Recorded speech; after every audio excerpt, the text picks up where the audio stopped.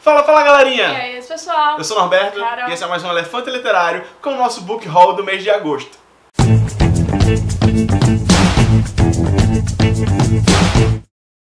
Antes da gente falar sobre os livros, a gente vai falar sobre uma coisa que a gente recebeu ó, há um tempinho. Yara mandou pra gente. Gente, já começou os gentes, né? Vou, vou mostrar por partes. Dois cards, um com o signo, a mitologia de gêmeos e uma ilustração dela, maravilhosa. E outra... Gente, eu não tinha visto essa. Não tem Meu atrás, é Deus, todo, tem atrás também. E de peixes, né? Que são os signos Norbe, Peixes e Gêmeos. E ela mandou essas ilustrações. Ela mandou dois marcadores que ela fez manualmente com eu fazendo pilates. Exatamente. E tem elefante literário aqui do outro lado. E Norbe cozinhando. Já pensou? Olha que coisa Amando a comida aqui. Pois nossos primeiros desenhos, gente. Meu Deus, é muita emoção. Que ela fez, parece Ok. uma cartinha, né, falando sobre tudo. E a gente amou muito, só que não acabou. Ela não achou pouco, tudo, todas essas coisas maravilhosas. Deixa eu só tentar abrir. Eu não sei se vocês repararam, mas em alguns vídeos do Veda eu estou usando esse cordãozinho, o logo do canal, o elefante, isso mesmo. Muito obrigada, pelo amor de Deus. Um beijo enorme. Amo- Amames. No mesmo dia que a gente recebeu esse presentinho aqui que a gente acabou de mostrar, também chegou aqui em casa o livro Star Wars, Marca da Guerra, Marcas da Guerra, do Chuck Wendig. Esse aqui é o primeiro livro de uma trilogia nova, né, que tá lançando aí, que inclusive é o filme que tá no cinema, eu acho, é? Ou é, ou é tipo uma preparação para o filme que saiu no cinema recentemente, eu não sei direito. Inclusive não sei por onde começar os livros de Star Wars, se vocês acharem que isso aqui é uma boa opção. Digam, né, porque um dia na vida, quem sabe, a gente lê. Em agosto a gente também fechou parceria com a editora Dublinense e entre o catálogo deles, né, a gente escolheu alguns livros para que fossem enviados para que a gente pudesse ler. O que me foi enviado, né, o livro que eu escolhi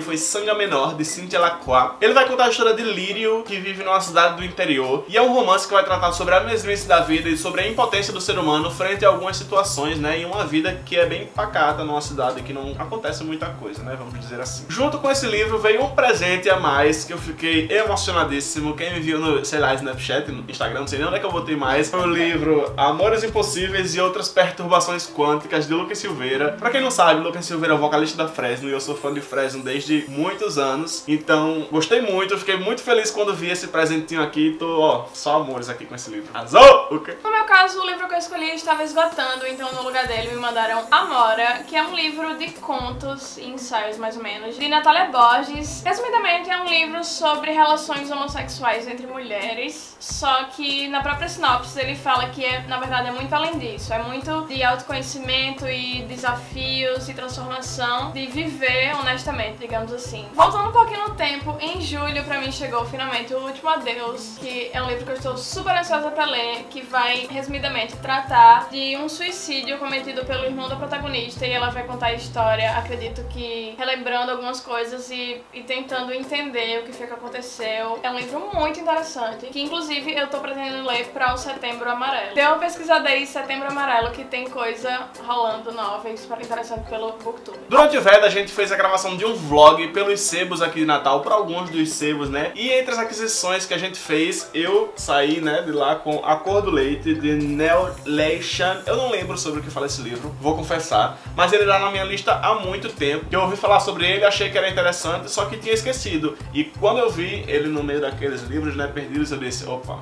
esse aqui é meu. Na mesma viagem, digamos assim, eu trouxe Fim, que é a história de Álvaro, Ciro, Silvio, Neto e Ribeiro. São personagens que viveram na década de 60 e esse livro eu acredito que ah, é de Fernanda Torres, então ele traz crônicas sobre essas cinco pessoas e eles viveram nessa época cheia de acessos, álcool e sexo e coisas do tipo. Também traz uma questão da situação do país na época, que não era, né, digamos, das mais fáceis. E vai trazer um pouco de melancolia também, eles estão na praia, muito sol e Rio de Janeiro e coisas do tipo. Antes que eu vá, de Lauren Oliver é um livro que tá há muito tempo também na minha lista e vai contar a história de Samantha, que aparentemente tem tudo na vida, só que chega o dia da morte dela. E aí ela tem, digamos, uma nova chance, na verdade, sete novas chances. Ela vai desvendando o porquê da morte dela e entendendo o que é que ela está prestes a perder. Então acredito que fale muito sobre o valor das pequenas coisas ou coisas do tipo. Durante o Veda também a gente lançou um projeto aqui no canal junto de outros booktubers, que é o Clássico Tube, e para essa primeira edição a gente vai ler o livro Frankenstein de Mary Shelley, que foi cedido para todos nós pela Companhia das Letras através do selo Penguin, que é quem está apoiando a gente nesse projeto. Frankenstein vai contar a história de quem? De Victor Frankenstein, que é o criador do monstro que nós conhecemos como Frankenstein. E aqui a gente vai perceber que isso é mentira, que da vida inteira da gente é uma enganação. Então aqui a gente vai descobrir o que é que acontece, como é que ele foi criado, em que condições, o que é que se passa na cabeça dele, o que é que se passa na cabeça do seu criador e o que é que ele faz ali na sociedade, como ele vai influenciar as pessoas que estão ali ao redor e o pensamento de várias delas. A gente também recebeu em parceria com o grupo Editorial Record o livro George de Alex Gino e como a capa já diz, ele vai contar a história de George, que é uma menina, na verdade, que nasceu num corpo de menino. Então é uma criança transgênero que vai lidar com algumas dificuldades na escola, né, lidando com seus professores, com seus colegas, inclusive com a sua própria família que não quer enxergar, não quer aceitar o que é que ele tem a mostrar, né? A mensagem que ele tem para passar e o que é que ele quer revelar sobre si mesmo. Vai começar a Bienal agora, meu Deus do céu. Como é que vai... Os seus são quantos? 13.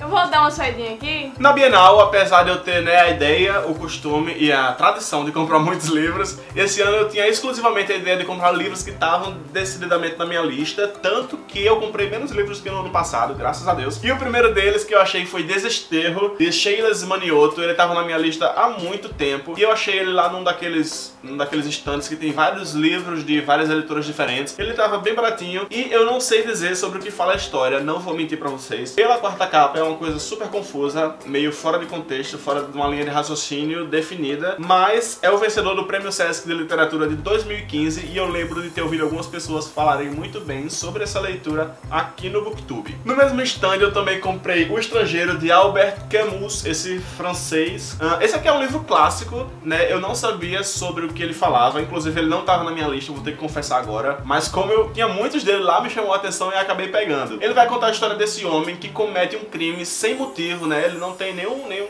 nenhuma motivação para cometer isso e mesmo assim o faz e a vida dele acontece meio que sem sentido. Esse livro aqui foi lançado em 1957 e ele vai fazer um paralelo com a vida do homem no século 20. Então o autor vai pegar vários elementos da vida do homem no momento em que ele vivia e vai abordar aqui nesse livro.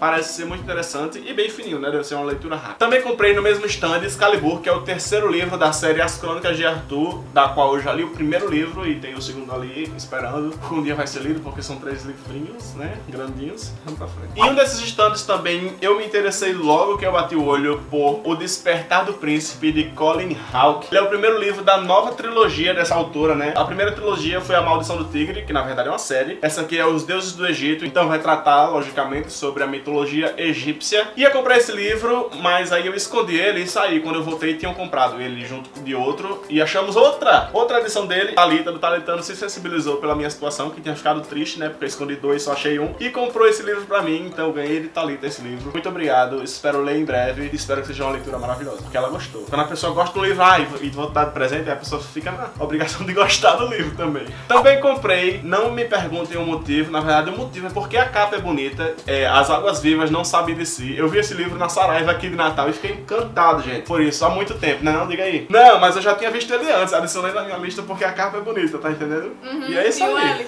Lembrando que quem tiver interesse em comprar esses livros todos que a gente tá falando aqui, os links pra compra estão aqui embaixo. E se quiser ajudar o canal também, de cara, a gente agradece muito. Entre tantos livros que nós comprou, eu comprei um livro. Olha aqui, quem está aqui. Finalmente, depois de três anos procurando esse livro, eu não tava procurando. Ele surgiu na minha frente, foi Ei, uma coisa foi- de Deus. Surgiu mesmo.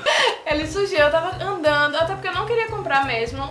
Quem viu aqui o vídeo de wishlist viu que eu tava bem focada na minha lista, então eu não consegui encontrar os meus livros. E ele tava lá. A Menina Sem Qualidades brotou, Julizé, finalmente vai entrar na minha vida. Já dei uma olhada relembrando a história. Vai contar a história de Ada e Aleph. E ela se passa na Alemanha e é uma coisa bem confusa. Mas eles criam uma relação meio que de dependência e questionam muitas coisas morais e éticas. Até que eles resolvem criar uma brincadeira com o professor. Uma coisa que pela sinopse parece ser bem pesada. Lógico que eu não sei o que é e não vou dizer o que é. E eu lendo a sinopse me lembrei da Onda. Não sei se tem a ver, é uma coisa meio casada, assim, que eu acredito que eu vou gostar, inclusive. Comprei no stand da Gutenberg a extraordinária garota chamada Estrela. Eu botei esse livro na minha lista há algum tempo por causa de Luiz Levi, que ele fala, tipo, é o livro preferido da vida dele, é um livro maravilhoso. E eu li, achei muito legal também, dei quatro estrelas. É uma história sobre essa garota estrela que de repente chega numa escola, porque todo mundo no dia a dia tem a mesma rotina e ela chega para quebrar isso, causando algum desconforto nas pessoas.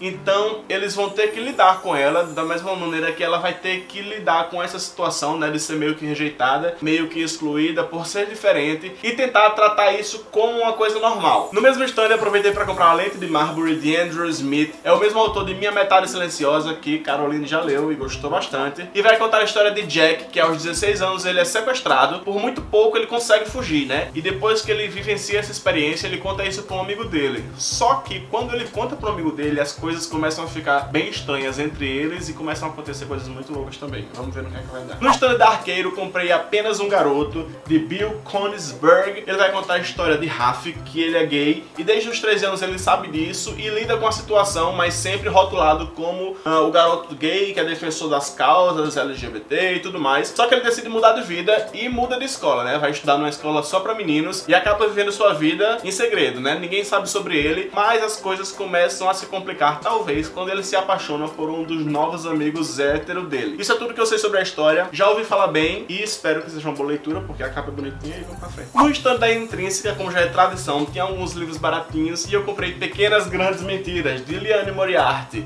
Ele é um romance, meio thriller na verdade. Falaram sobre ele no, na turnê intrínseca que teve aqui em Natal há algum tempo. E eu me interessei logo pela história, não comprei na época. Vai contar a história sobre três mulheres que têm uma ligação, né, na vida delas. E em determinado momento elas se veem confrontadas, se veem conectadas com assassinato, suicídio que aconteceu, ninguém sabe bem o que é.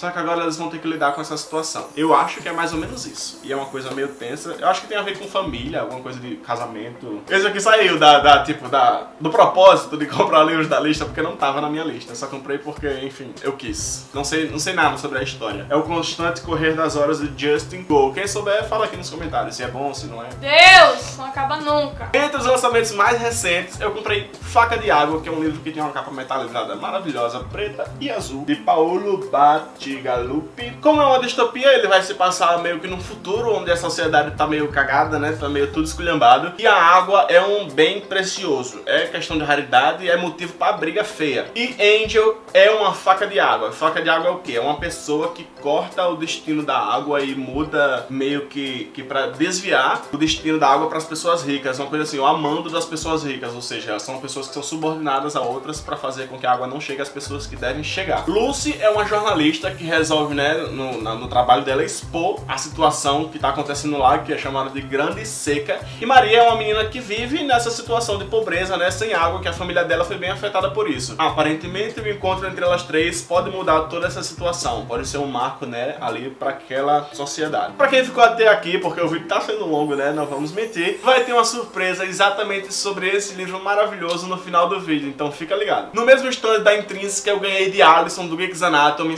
Simon versus Agenda Homo Sapiens, que eu já tô lendo, que tô gostando muito e espero que seja uma leitura prazerosa até o final. Ainda durante a Bienal, mas não na Bienal, a gente saiu com alguns booktubers na semana seguinte e aí eu acabei encontrando o Caso das Estrelas, que era um livro que eu queria muito, que é justamente, eu não sei se vocês conhecem, mas é tipo um projeto de um colombiano que ele vai pegar palavras em ordem alfabética e vai pedir definições a crianças. Então tem uma palavra, por exemplo, vamos lá, guerra. É um jogo que os meninos de hoje jogam. Então vai vir essa frase e muitas outras com o nome da criança e a idade. Então é um livro muito interessante porque ele vai mostrar visões muito diferentes e muito interessantes sobre palavras que a gente tem um conceito muito certo, definido. E às vezes nem é tanto assim. Outro livro que eu ganhei em agosto, ganhei dessa vez, foi Garota Exemplar, nessa edição com a capa do filme. Marcos, um inscrito aqui do canal, tava se desfazendo de algum desses livros e eu aproveitei pra pegar esse aqui, né? Porque eu tinha lido, só que ainda não tinha nenhuma edição. Então, muito obrigado. Olha quem está aqui.